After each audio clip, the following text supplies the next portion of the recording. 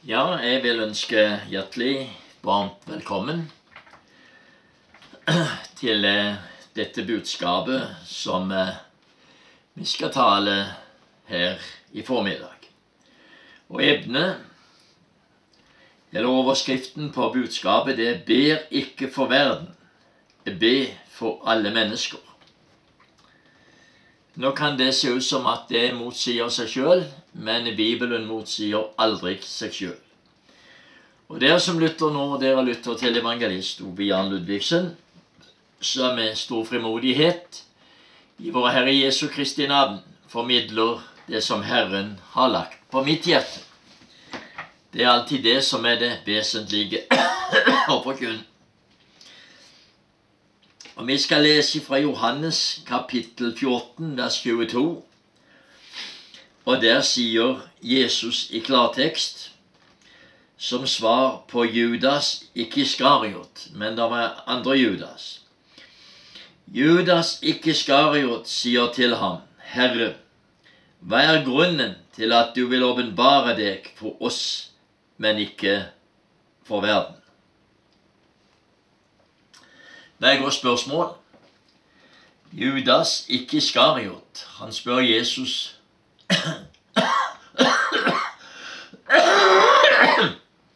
på en enkel og en klar måte. Hva er grunnen til at du vil åpenbare deg for oss, men ikke for verden? Jesus hadde ingen grunn til å åpenbare seg for verden. For verdens ugudelige mennesker hadde ifra før verdens grunnvoll ble lagt, noe Gud så allerede da, så hadde de bestemt seg for å ikke ville ha noe med Gud å gjøre. Og derfor så var de heller ikke åpne og mottagelig for noe guddommelige åpenbaringer. Og derfor så åpenbarte ikke Jesus seg for verden, slik som han åpenbarte seg for de som fulgte ham. Han åpenbarer seg aldri fra en bespottelig ugudelighet som har forkastet ham ifra før verdens grunnvoll ble lagt, for allerede da så han forkastelsen, at de som ville forkaste ham, og han så mottagelsen av ham og de som ville påkalle hans navn til frelse, ifra før verdens grunnvoll ble lagt. Alt visste han, alt hadde han forutsett, åssen menneskene ville opptre, og hvilke holdninger de ville ha til Herren Jesus Kristus. Og Vi skal gå videre og lese fra Johannes 17, og vi leser ifra det niende verset. Og det er jo et interessant vers, for der står i vers 9 så står det Johannes 17, 9. Jeg ber for dem. Jeg ber ikke for verden, men for dem som du har gitt meg, for de er dine. Jesus sier, 'Jeg ber for dem'. Hvilke dem? Det var jo de som var gitt ham av Faderen. Nå skal vi være klar over at når Jesus formidler denne bønnen, eller sier dette, så formidler han det som menneske. Sønnen. Han formidler det i sin daglige menneskelige skikkelse og tankegang. Og i dette er det han sier, 'Jeg ber for dem', sier jeg ber ikke for verden, men for dem som du har gitt meg, for de er dine. Det nyttet ikke å be for verden. Verden hadde allerede bestemt seg fra før verdens grunnvoll ble lagt. Der hadde Herren forutsett at de ikke ville ha noe med Gud å gjøre. Og derfor så så heller ikke Jesus noe gagn i å spille energi og krefter på og be for de som allerede fra før verdens grunnvoll ble lagt, hadde nær sagt, om vi kan bruke det uttrykket, forbannet seg på at de skulle aldri ha noe med Herren Jesus Kristus å gjøre. Og det er alle mennesker som lever i den tilstand og holdning overfor Gud i dag. De vil aldri være åpne og mottagelig for det åndelige, evangeliske åpenbaringens budskap ved Den hellige ånd. Og derfor så ba heller ikke Jesus for verdens ugudelige. Disse som fra før verdens grunnvoll ble lagt, hadde forbannet seg på, hadde bestemt seg for én ting. Vi skal aldri ha noe med den Gud å gjøre som er Bibelens Gud. Bibelens Gud forutså alt dette og visste om at det ville bli så fra før verdens grunnvoll ble lagt og fram til i dag. Og ut ifra det, og for at Golgats-verket skulle bli fullbrakt, så eh, så han også alle de som ville påkalle hans navn og bli frelst. Utvelgelsen i Kristus fra før verdens grunnvoll ble lagt. Og fordi var det han døde, fordi var det han gav sitt liv. Og fordi var det han var. Det hjelper lite å be for noe som ikke vil noe. Derfor er det de åpne og de villige hjertene som Herren ser til. De som vil påkalle Hans mektige navn til frelse. Det er dyrebart med Guds ord, og jeg må si at jeg er veldig glad for det at vi har dette dyrebare og dette mektige budskapet tilgjengelig, slik at vi kan gå inn og se hva Bibelen har å fortelle oss. Det er helt sikkert. Det er mange mennesker vil kverulere både med det ene og det andre ordet. Mange mennesker drar ordet i tvil. Vi har til og med en prest her som skriver og publiserer om at Bibelen er en blanding av usannheter og sannheter, og har uttalt seg også til en broder at han har håp om, eller tro for, at djevelen også skal bli frelst. Så her er mye rart.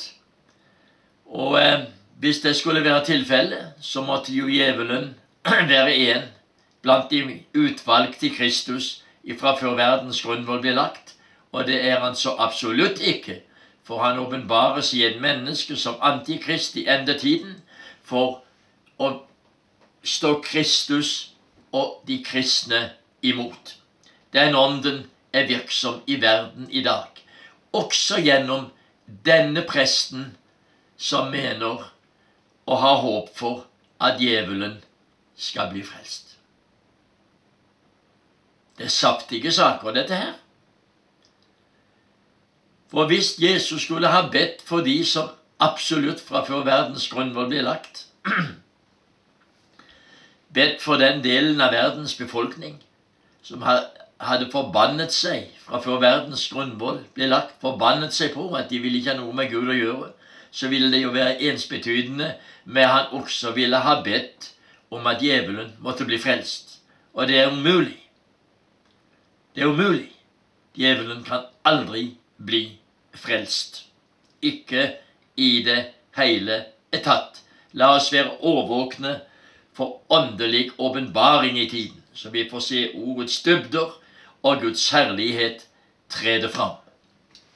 Vi leser videre her i Skriften fra 1. Timoteus, og det andre kapitlet og det første verset. Og der står det følgende å lese underbart at vi har Bibelen å gå til. Det første Timoteus 2,1. Fremfor alle ting formaner jeg derfor til at det blir gjort bønner, påkallelser, forbønner og takk for alle mennesker. For konger, det er vers 2, og for alle som er i høy stilling, så vi kan leve et stille og rolig liv i all Guds frukt og ærbarhet. Det tar godt og til behag for Gud, vår frelser. Det er dyrebart. Når Bibelen her taler om at det anbefales og formanes til at det blir gjort bønner og påkallelser og forbønner og takk for alle mennesker, så tror jeg det kan også peke hen på alle mennesker i verden. Når vi oppfordres til å be og gjøre bønn og påkallelser for disse. Fordi at vi vet ikke hvem som er blant de utvalgte i Kristus fra før verdens grunnvoll ble lagt. Og når vi da ber for alle mennesker i verden, så ber vi også for de som er utvalgt. Da ber vi for de som er utvalgt i Kristus før verdens grunnvoll ble lagt. Og til og med ber for konger. Det er sikkert konger som eh, kommer til å bli frelst og påkalle Herrens navn. og toppolitikere, for den saks skyld. Jeg tviler ikke på det. Men de blir ikke frelst for øyeblikket der inne at de får budskapet. Og da skjønner de vi er utvalgt i Kristus ifra før verdens grunnvoll ble lagt. Nå legger vi til side alt det verslige tumultene vi holder på med, og så overgir vi oss til Herren, og så blir vi åndelige vitner i Herrens hær, vitne her på jord. Så det er derfor vi oppmuntres til, vi som er frelst, å be for alle mennesker. Og når vi da ber for alle mennesker, så er det ikke for de som fra før verdens grunnvoll ble lagt, fornektet Jesus og forkastet ham, men det er for alle de som ifra før verdens grunnvoll ble lagt, som ligger i utvelgelsen i Kristus, vi ber for. For de andre vil aldri komme allikevel. Utvelgelsen er dyp, utvelgelsen er kraftfull, utvelgelsen er mektig. Og alt dette at vi ber for alle disse, så er det godt, og det er til behag for Gud, vår frelser. Det er det. Og det som er til behag for Gud, det er det vi elsker å gjøre. Vi skal da lese fra, videre fra 1. Timoteus 2, fortsatt andre kapitlet og det fjerde verset. Så står det Han som vil at alle mennesker skal bli frelst og komme til sannhetserkjennelse. Det er klart at Gud ville absolutt at alle mennesker skulle bli frelst. Det ville han òg fra før verdens grunnvoll ble lagt. Så ville han at alle mennesker skulle bli frelst. Men dessverre, alle mennesker ville ikke bli frelst. De valgte både Jesus til fordel for djevelen og den kommende antikrist som deres Gud, som de har gjort seg avhengig av og blitt hyppige og lidenskapelige tilbedere av, for det ser vi gjennom de ugudeliges verden i deres gjerninger, både moralsk, umoralsk og alt sammen. Sånn er det. Så jeg tror virkelig at det er Guds mening at alle skulle bli frelst. Og Derfor må vi ta og se det fra en annen synspunkt, synsvinkel. Han som vil at alle mennesker skal bli frelst og komme til sannhetserkjennelse. Da stiller vi igjen med et mindretall som omtales som alle. Og det er de utvalgte i Kristus. De døde han for. For det var hans vilje, hans plan, at alle disse skulle bli frelst. Da var ingen andre alle å dø for enn for de utvalgte. For de andre var det ingen gagn i å dø for, for de hadde allerede sagt Gud farvel i sitt hjerte før verdens grunnvoll ble lagt, da utvelgelsen i Kristus ble gjort. Sånn er det. Så Bibelen taler ikke imot seg når den taler om å be for alle mennesker at de må bli frelst osv. Eller når Jesus sier at 'jeg ber ikke for verden, men jeg ber fordi du har gitt meg'. Han visste nøyaktig hvem det var som ville komme og bli frelst.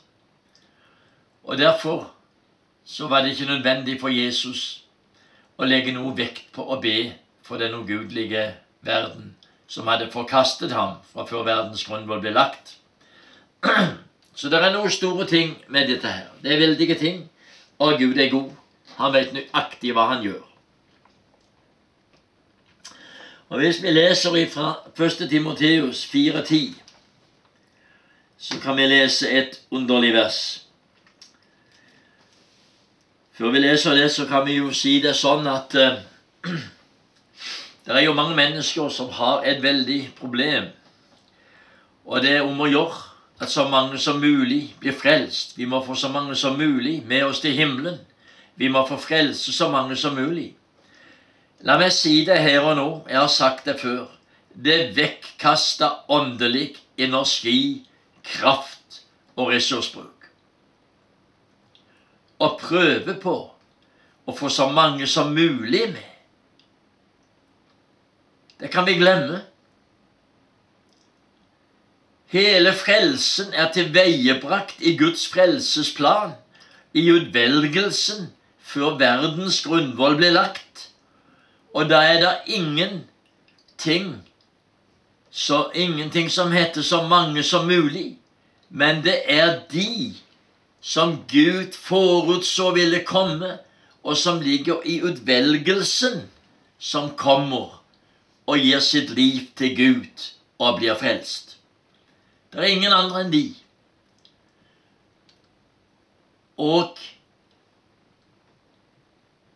det er heller ingen andre som vil prøve seg av den gjennområtne og gjennomsyrede ugudelige verdens mennesker, som vil prøve seg på å påkalle Herrens navn og bli frelst. Til og med i trengseltiden så vil de ugudelige være så besatt av den antikristelige ånd og virksomhet at de vil spotte og forbanne Gud uansett hva som rammer jorden, og hva som rammer den og den, eller ikke den og den.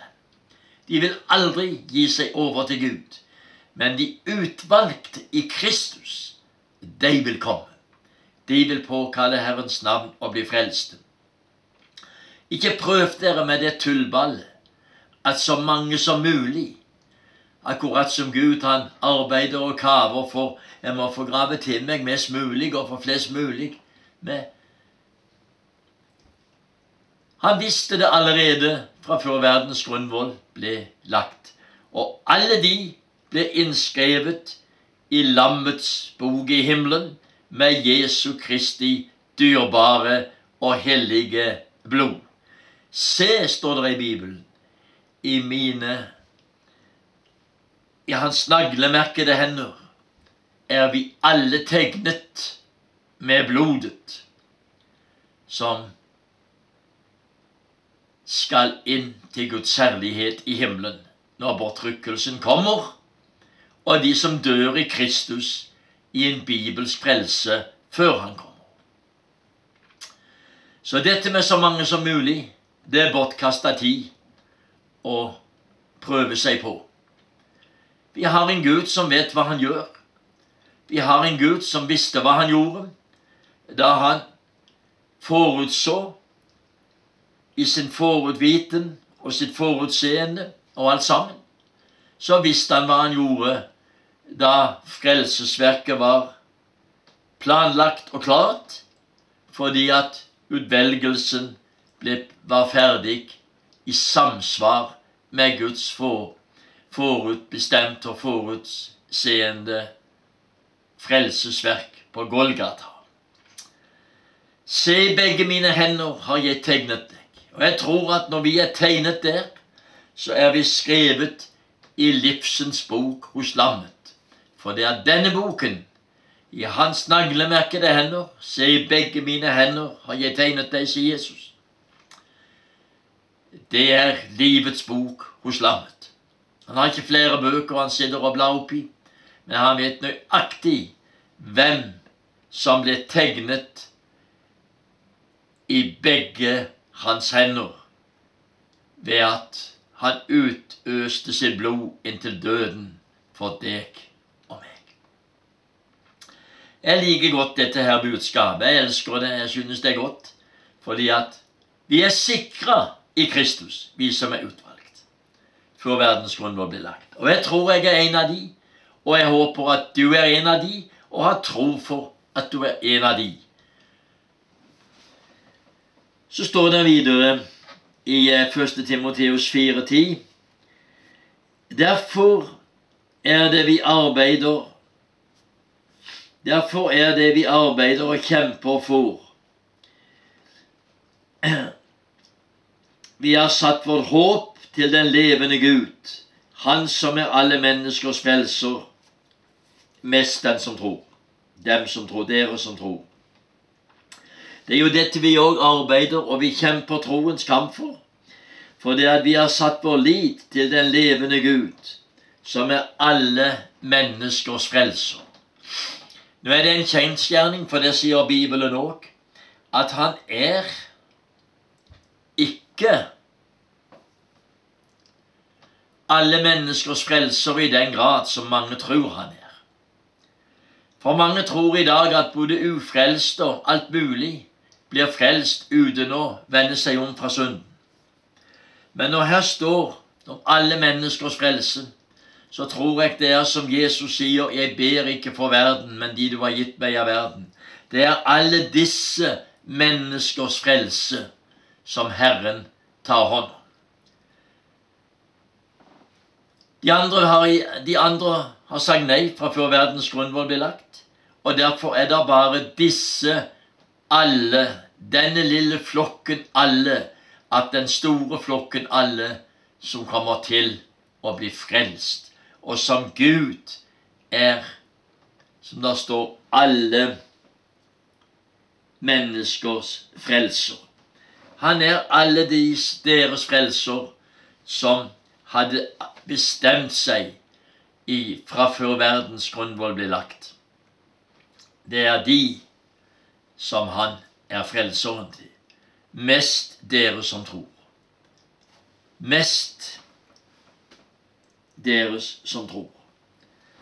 Ja, det er jo ingen andre enn de som tror,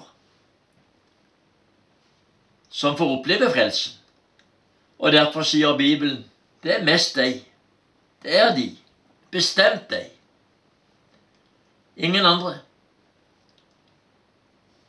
dere som tror. Han er deres frelser, de som tror.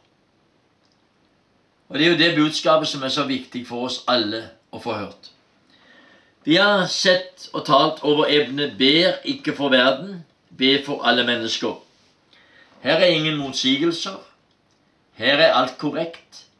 Her er alt identisk med Skriften. Ingen svikt på noen områder for Herren vet hva han gjør. Jesus visste hvem han ba for. Han visste hvem som var hans, og hvem som ikke var hans. Og de som var hans, de ba han for, for at de skulle være styrket ved nåden i Kristus. De andre, som fra før verdens grunnvoll ble lagt, ikke valgte, eller valgte De andre som fra før verdens grunnvoll ble lagt, valgte bort Kristus til fordel for djevelen, antikrist og alt dette. De var der ingen gagn i å be for. For de ble fulgt allerede før verdens grunnvoll ble lagt. Så var de fulgt med den, av den antikristelige ånden som motarbeider Gud, helt til den frem til i dag, hvor vi ser hvordan den ugudelige generasjonens mennesker motarbeider og forbanner det hellige og det himmelske. Skjønner vi tankegangen i dette? Men likevel så er det snakk om å be for alle mennesker. For når vi ber for alle, så er det de alle som ligger i utvelgelsen som kommer ut som svar på de troendes bønner i Kristus under vandringen her. Derfor har jeg en hilsen helt til slutt å si til deg. La dette budskapet tale til deg. Ta det til deg, og eh, åpne ditt hjerte for Jesus og si, Herre, jeg tror jeg må være en av de. Jeg påkaller ditt navn og vil bli frelst. Det er ingen andre som kan ta imot det, for det er ingen andre som vil lytte til det. Men alle de utvalgte i Kristus gleder seg over å få del i de evige og de bibelske sannhetene. Og Herren velsigne dere rikelig mål til å søke Herren mens det ennå er tid. Hvorfor sier du det sånn? Nå taler du til alle i verden. Jeg sier det sånn fordi jeg vet at det er en del utvalgte i Kristus som sannsynligvis, ja, helt sikkert, lytter eller har fått lytte til dette budskapet. Ber som har fått lytte til dette budskapet, ber ikke for verden, ber for alle mennesker. Og jeg håper den dagen Herren kommer, påtrykkelsen finner sted, at du og jeg skal møtes på skyen for alltid å være med Herren Jesus i forvandlingens kraftfulle og mektige øyeblikk. Gud velsigne dere i Jesu navn. Amen. Amen.